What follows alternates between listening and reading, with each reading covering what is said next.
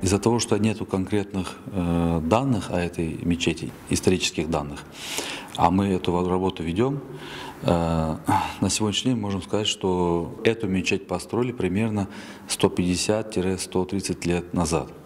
В советское время э, мы знаем, что в 1955 году эту мечеть отдали в пользование э, христианской общиной адвентисты седьмого дня – они чередовались с другой э, общиной баптистов, также, также христианской общиной.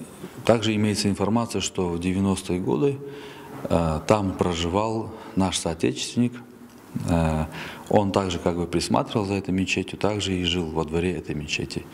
Ну, потом он скончался, и вот она осталась бесхозной.